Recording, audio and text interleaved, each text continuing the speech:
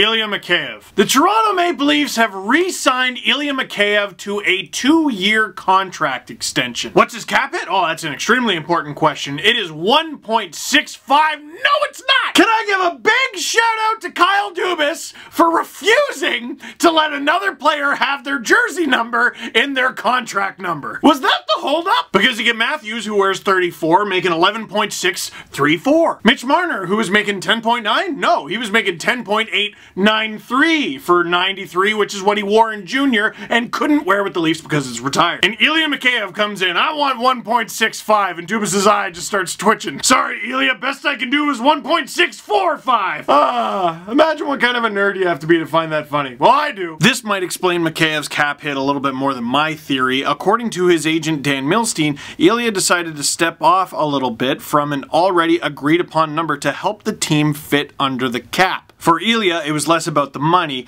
but more about the role in the organization. He wishes to win the Stanley Cup. It's been a lifelong dream. This is from a Luke Fox article on sportsnet.ca you gotta check out. Speaking of Dan Milstein, what even is this picture, dude? This is what he tweeted out when Mikheyev signed. I love it. But I gotta say, this is a real nice contract. And more than anything, I'm so happy the two sides avoided arbitration. Because salary arbitration is this ugly process that no players or teams like going through. The player is forced to ask for the sun and the moon because then when arbitration hits, the very team that they play for argues for why they're not even that good. And with the Toronto Maple Leafs and Ilya Mikheyev, I just don't see two sides that were willing to do that to each other. Because what has Ilya Mikheyev done for the Toronto Maple Leafs besides everything that's been asked of him? He came to North America, worked extremely hard, learned the North American game on the fly, played all over the lineup, was playing with John Tavares for a while, was killing penalties, was even scoring. Stuff was out of control when Ilya Mikheyev was signed. People forget because 2020 been the longest decade of our lives. Things were out of control. Like, remember there were rumors that Ilya Mikheyev, before even playing an NHL game, was going to play with Auston Matthews?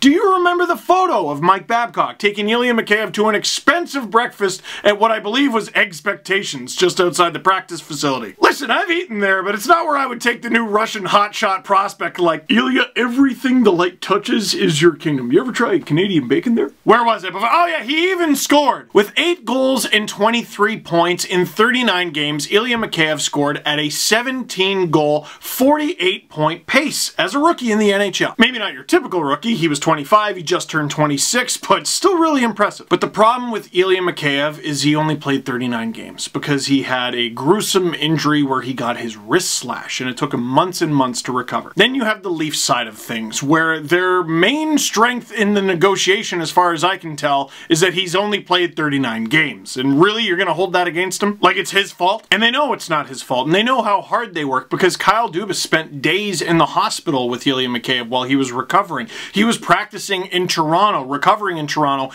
getting better at his craft in Toronto. Ilya Mikheyev, frankly, is what this team needs. Because yeah, this offseason the Leafs added a lot of things that they lack. They got big meanies like Zach Bogosian and Wayne Simmonds who will punch your head off. They get Joe Thornton. They acquired a lot of beards, a lot of experience and leadership. Ilya Mikheyev absolutely showed leadership by how hard he worked to recover from that injury, how good he looked. He was a world destroyer heading into the bubble. In fact, he scored the first goal of the bubble 30 seconds into the bubble with a pass from John Tavares, if I remember correct. But maybe where things fell apart is uh, expectations were way too high because it was Superman, Supermania, soup, soup that's, he, he likes soup is basically what we know about him. Maybe we expected too much out of a guy who at his best scored at less than a 50 goal pace on a team that has John Tavares, Auston Matthews, Mitch Marner, and William Nylander. Here is what Ilya Mikheyev is based on what we know about him, what we've seen from him. He's so fast, he's relentless, he's a great penalty killer, and he barely ever took penalties himself, barely ever put the team on the penalty kill. He had four penalty minutes in 39 games. The guy took two minors all season. And just in case you thought that was a blip, his final two seasons in Russia, he had eight penalty minutes and six penalty minutes, and that was in 62 and 54 games. The guy doesn't take penalties. So you get a guy who is really fast, he's a penalty killer, he can play in your middle six, he's going to get a goal total somewhere in the teens, he's going to get a point total somewhere between 40 and 50. Did I just describe Kasperi Kapanen? No, I didn't. I described Ilya Mikheyev, who, for the next two seasons, makes half as much. Wouldn't it be better to have both? It would be, but there's a salary cap, so too bad. I gotta say, 1.645 I wouldn't have minded that on a one-year deal. It might have been a little rich considering he hadn't played that much, but like it's 1.645. You get over it. To have this cap hit for two years on a team that could use some cheaper deals, it's pretty good. So, what happens next? Because Steve, I don't know if you've noticed, but the Leafs are over the salary cap and they still have Travis Dermott to sign. Here's what I would say.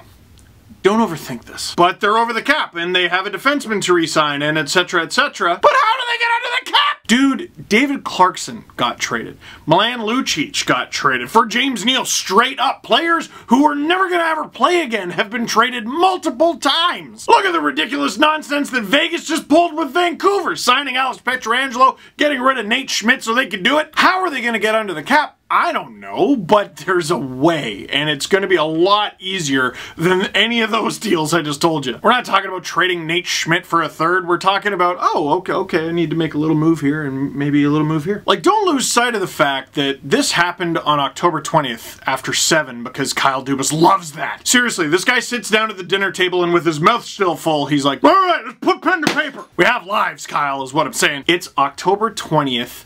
Gary Bettman and various NHL folks have said that they hope to have the NHL season started by January 1st. Chris Johnston of Sportsnet recently said on the Steve Dangle podcast, it's a great podcast, hope you heard of it, that he thinks a February 1st start date could become possible. The Leafs still have like two months to get this figured out. To re-sign Travis Dermott or to trade him. To extend a player who is currently under contract or trade them. Or don't. Just leave them. They're on your team. Or to trade a guy or acquire a guy or do both at the same time. The Leafs are over the cap by a smidge. Vegas was over the cap by like half of the Sens payroll. It's not the same. To get a little bit more specific, forever shout out to Cap Friendly Dude. Toronto Maple Leafs update. Projected at 175,200 dollars above the salary cap after signing Mikheyev to a two-year contract at 1.645 AAV. The roster's at 22, 13 forwards, 7D, 2 goalies, and the only two remaining RFAs. I said it was only Dermott.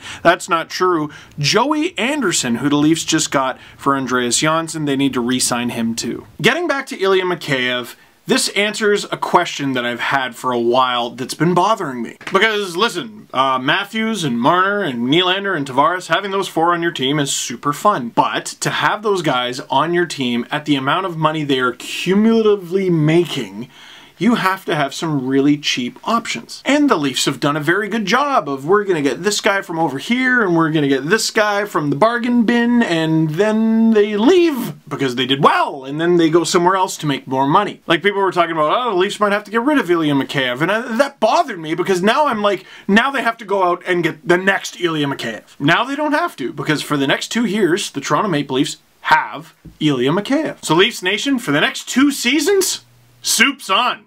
Eat up. Leave a comment in the comment box down below. Let me know what you think. But for now, that is it for this one. Thank you very much for watching. Click like if you liked this video. Click subscribe if you really liked it. Tell your friends. Ilya Mikheyev.